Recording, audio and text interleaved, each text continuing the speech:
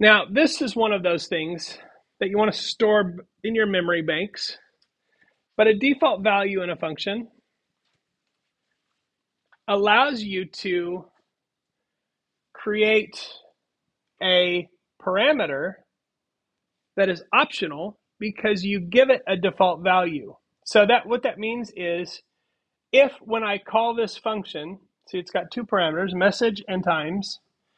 So if I say print message that number of times inside the function, then when I give this a string and an integer, it will print that message however many times I say.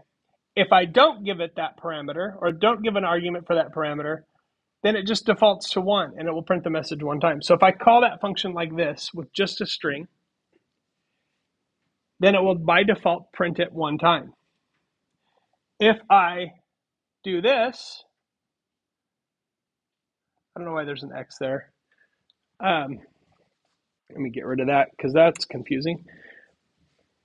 If I do this, it will say this string five times. So whatever I when I give it that message, when I give it that parameter, it overrides what's there. So when I run this code, okay,